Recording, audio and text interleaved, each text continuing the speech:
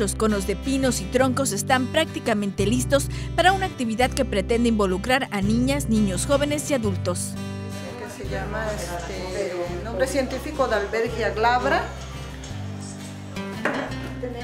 Aquí eh, es que la gente eche a volar su imaginación, saque su creatividad.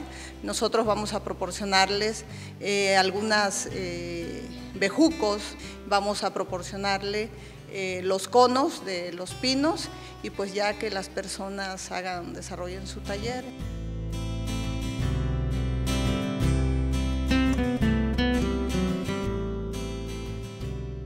El material recabado a través del personal del Banco de Semillas será parte del bazar navideño que el Jardín Botánico ofrecerá el próximo domingo 6 de diciembre en el Corredor Cultural de la Calzada de los Hombres Ilustres. Por ejemplo, aquí tenemos varias especies de pinos, eh, algunos pues ya se les pone otro, este, un complemento más, que es la macetita, eh, lo que es el tronco, eh, y bueno, algunas cositas que les falta todavía poner, y, que pues las vamos a estar exhibiendo este, para quien guste adquirirlas. Eh, van a tener un costo de recuperación eh, muy bajo. Con el taller de elaboración de coronas navideñas podrá elegir los colores y adornos con los que desee arreglar su hogar.